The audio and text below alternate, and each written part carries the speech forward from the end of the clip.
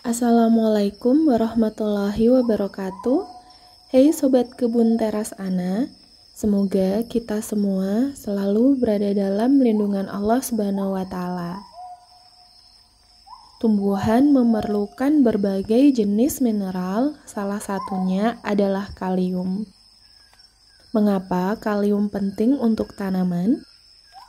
Kalium memiliki beberapa fungsi penting dalam tanaman. Pertama-tama, kalium terlibat dalam fotosintesis yang menghasilkan energi dan klorofil bagi tanaman. Kalium juga mengatur laju pertumbuhan tanaman. Selain itu, kalium membantu mengangkut air dan nutrisi ke seluruh tanaman. Jika tanaman memiliki cukup kalium, Hal ini akan menghasilkan akar dan batang yang kuat. Untuk yang baru berkunjung, jangan lupa menekan tombol subscribe. Terima kasih. Tingkat kalium yang optimal pada tanaman akan memberikan manfaat sebagai berikut. Pertama, peningkatan translokasi dan mobilitas nutrisi. Kedua, peningkatan perkembangan akar, dan penyerapan nutrisi. Berikutnya, peningkatan bentuk, ukuran, kekuatan warna benih atau biji-bijian. Lalu, pematangan dan tingkat pertumbuhan seragam. Peningkatan kemampuan untuk melawan kekeringan, suhu dingin, serangga, dan penyakit. Berikutnya, kualitas dan rasa makanan menjadi lebih baik. Yang terakhir, umur simpan lebih lama. Jika tanaman kekurangan kalium, maka akan berdampak pertama, pertumbuhan berkurang. Jika kita melihat satu atau sekelompok tanaman di kebun lebih kecil dari yang lain, Mungkin penyebabnya adalah kekurangan kalium. Ingatlah bahwa potasium yang cukup membantu mengatur laju pertumbuhan tanaman. Kalium yang tidak mencukupi juga dapat menurunkan efektivitas pupuk yang mengandung nitrogen. Kedua, menguningnya daun tua. Klorosis atau menguningnya daun pada suatu tanaman disebabkan oleh kurangnya klorofil, yaitu senyawa yang membuat tanaman menjadi hijau. Seperti disebutkan sebelumnya, kalium terlibat dalam fotosintesis tanaman. Ketika tanaman kekurangan kalium, produksi klorofil akan melambat sehingga menyebabkan daun menjadi kuning kehijauan dan akhirnya menguning keseluruhan. Jika terjadi kekurangan kalium, daun tua yang biasanya terletak di bagian bawah tanaman akan menguning terlebih dahulu. Atau daun yang belum menua defisiensi kalsium biasanya menunjukkan gejala menguning mulai dari ujung atau tepi dengan daun bagian tengahnya masih hijau. Hal ini karena kalium merupakan unsur hara yang bersifat mobile. Artinya, tanaman dapat dengan mudah mengangkutnya ke seluruh jaringan jika jumlahnya terpenuhi. Tetapi, saat terjadi kekurangan kalium, tanaman akan memprioritaskan daun-daun baru atau daun bagian tengah yang cenderung mengumpulkan lebih banyak sinar matahari untuk fotosintesis dibandingkan dengan daun tua atau daun bagian tepi. Ketiga, akar lemah. Tanda kalium yang kurang, sistem akar tanaman akan menjadi lemah. Hal ini menurunkan kemampuan tanaman untuk menyerap unsur hara dan kelembapan dari tanah. Jadi, kekurangan kalium secara tidak langsung bisa menyebabkan kekurangan nutrisi lain atau bahkan air. Keempat, batang kecil. Kalium yang cukup membantu memastikan batang tanaman kuat. Tanpa potasium atau kalium yang cukup, batang menjadi lemah dan kurus. Kelima, penggundulan atau kerontokan. Ingatlah bahwa pada tahap pembungaan, tanaman akan membutuhkan lebih banyak kalium dibandingkan pada tahap vegetatif. Jika kalium tidak cukup, bunga tanaman kita bisa rontok. Jika kekurangannya cukup parah, tanaman mungkin tidak akan berbunga sama sekali. Namun, kita mungkin akan menyadari kekurangannya sebelum titik ini karena gejala lain yang disebutkan sebelumnya.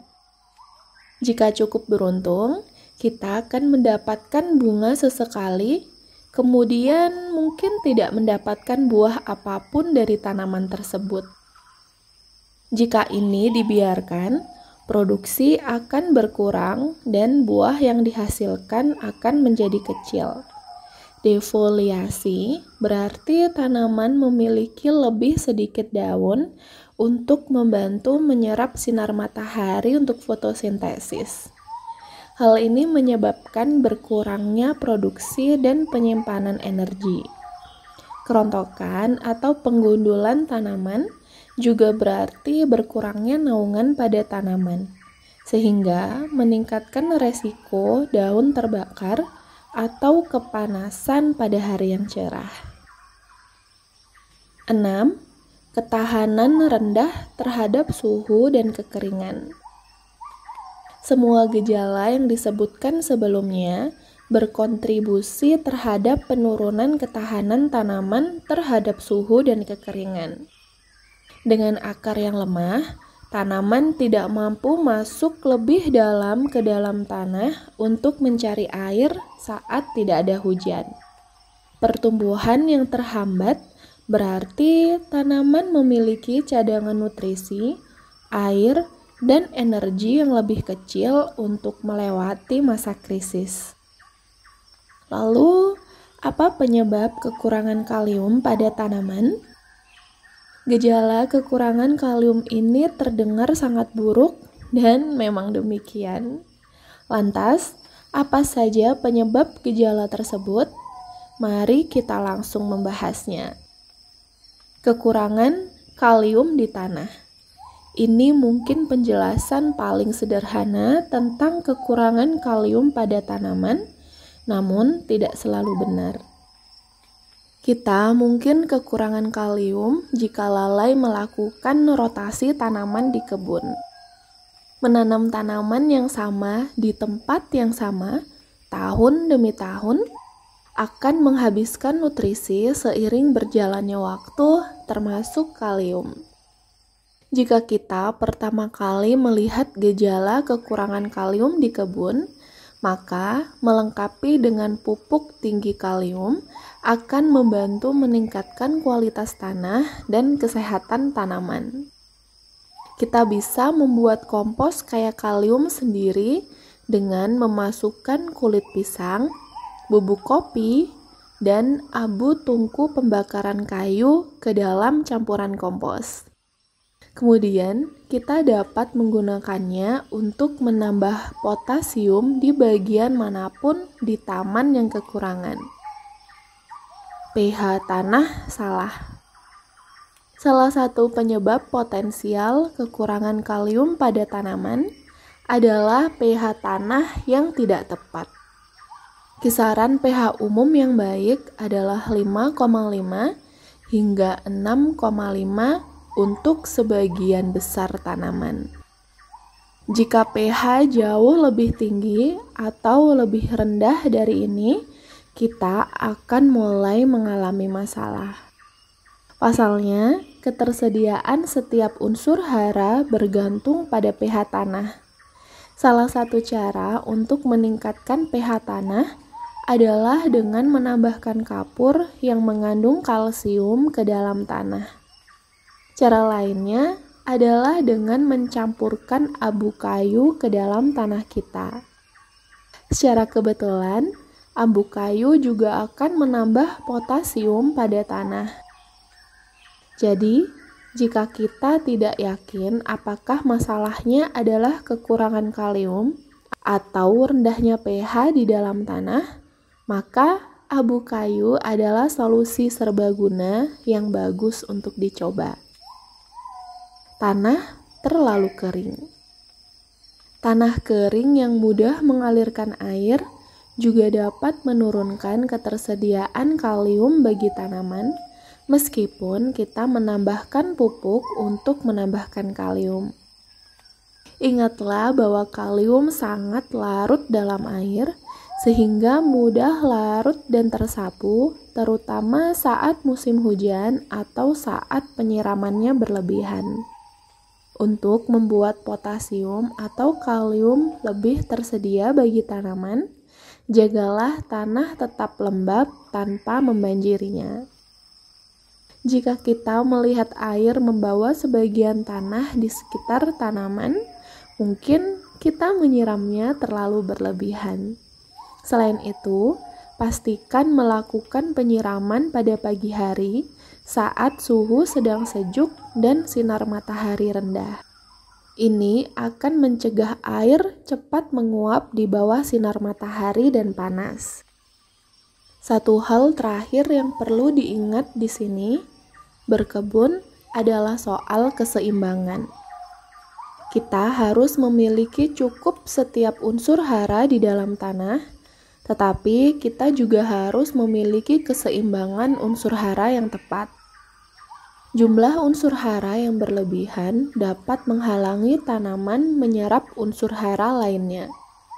Misalnya, terlalu banyak potasium atau kalium dapat menyebabkan kekurangan nutrisi lain pada tanaman. Peningkatan kalium dapat menurunkan ketersediaan kalsium dan magnesium. Demikian pula, peningkatan kalsium juga dapat menurunkan ketersediaan magnesium. Sekarang, kita sudah memiliki gambaran yang lebih baik tentang tanda-tanda yang harus diperhatikan untuk mengidentifikasi kekurangan kalium pada tanaman beserta beberapa kemungkinan penyebabnya. Semoga informasi ini bermanfaat.